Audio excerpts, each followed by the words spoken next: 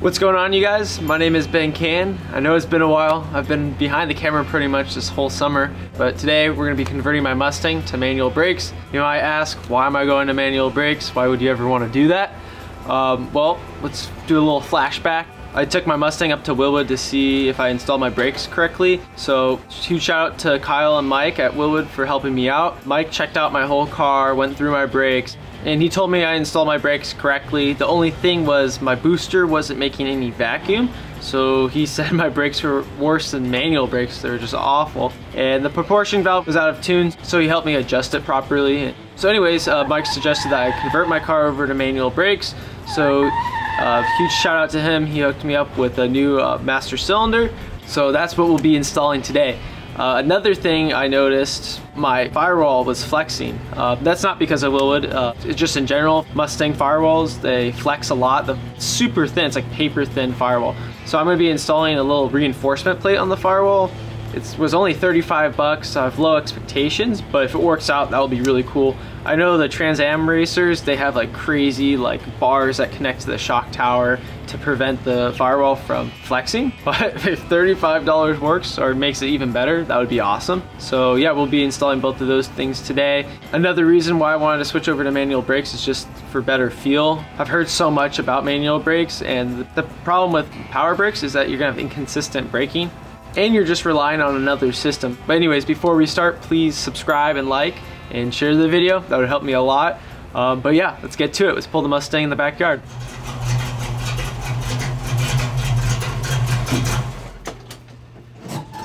So before I took the car apart, I checked to see what the pedal leverage was, and I found it to be 6 to 1, which is where you really want it to be. And I also checked to see the push rod engagement to see if it was straight, which it was.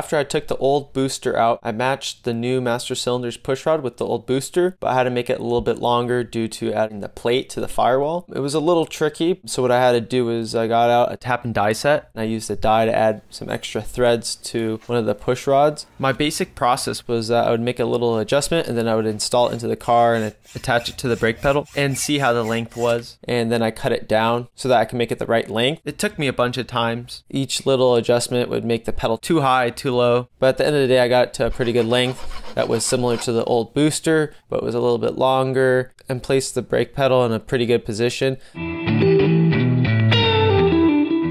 So the next thing I ended up doing was drilling some holes in the firewall plate just to make it as sturdy as possible. I reached out to a couple people about welding it onto the car, but everyone just told me to drill some holes in it and just bolt it to the firewall. So that's what I did.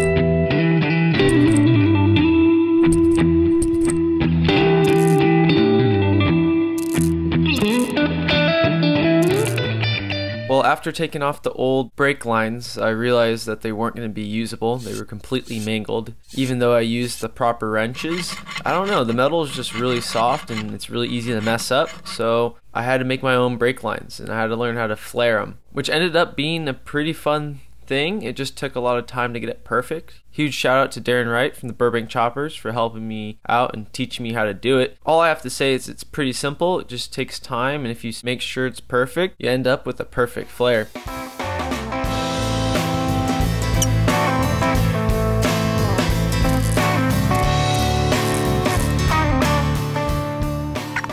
So this time I decided to bench bleed the master cylinder in the car but I was not happy with the results at all. The last time I installed the Wilwood master cylinder, I decided to do it outside the car and it worked out great. But this time I just wanted to experiment, but ended up not being able to get out all the air. Outside the car, you're able to get a full stroke into the master cylinder, but inside the car with the attached to the brake pedal, I was not able to get a full stroke. So, you know, there were still air bubbles left in it.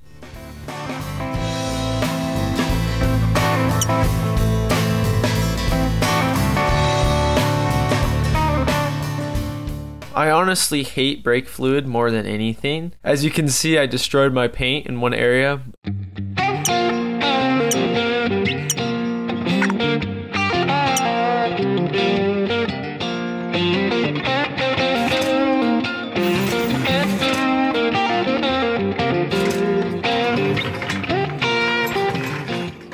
Just so we are clear, no, I'm not jacking the car up from the oil pan. I'm jacking the car up from the cross member.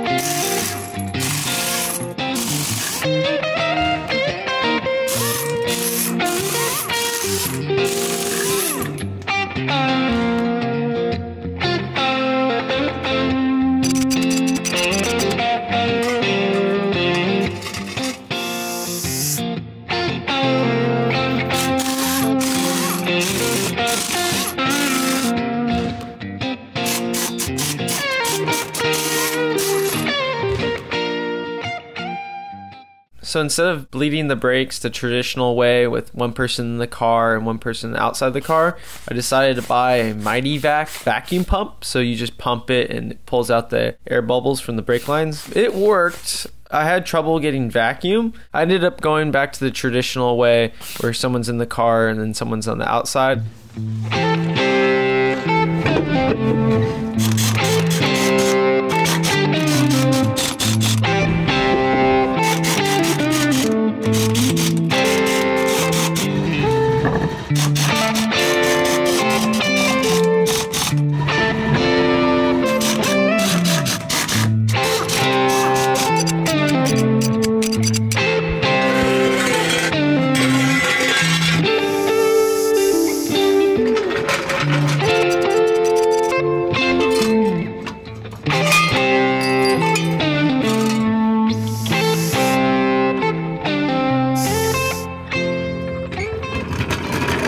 So after I bled the car, I had my dad go into the Mustang and pump the brakes while I looked at the master cylinder to see if it moved. And to my surprise, it didn't really move at all. The new plate really helped. There is some movement, but it's so little, it takes a keen eye to see it. So for $35, I definitely recommend it.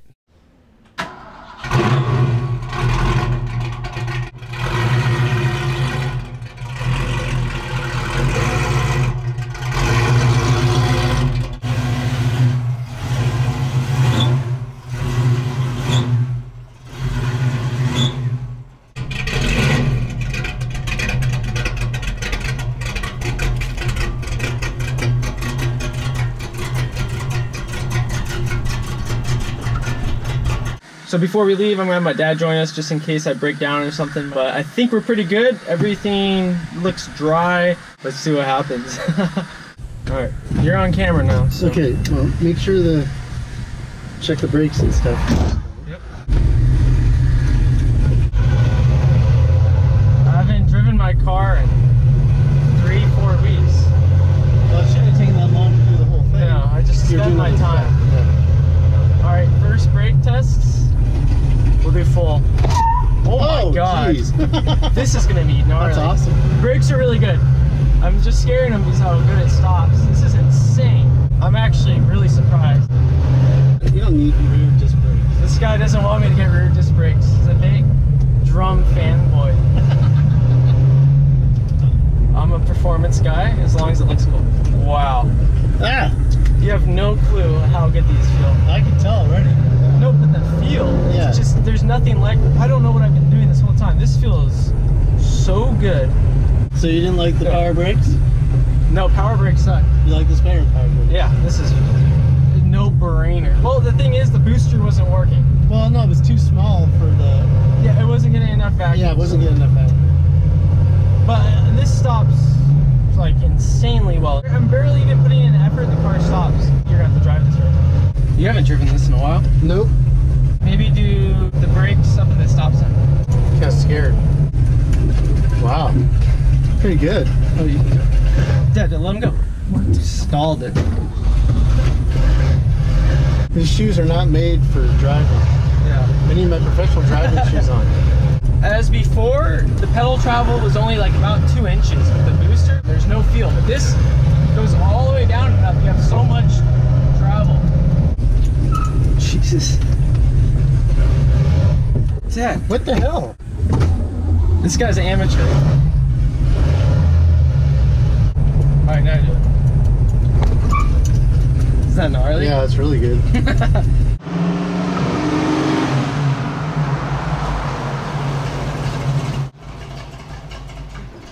I don't know. This is unbelievable. Yeah, this is this is awesome. Pretty good. I, it blew my expectations away completely. It, I don't know. What did you think it was gonna be like? Um, well, I didn't think it'd be that different, but it is. well, like it just a- feels, it just reacts nicer because when the, with the power booster on, it was more like, I don't know, you couldn't really, it just felt like it was like there was something in, not there Yeah. between the brake pedal and the brakes. Yeah. Like it was like, and the pedal didn't move that much. It feels like I have like a huge booster or something, just like something crazy Yeah. that just stops the car. I don't know. It, it's transformed the car just doing that. I didn't know how bad it was before that.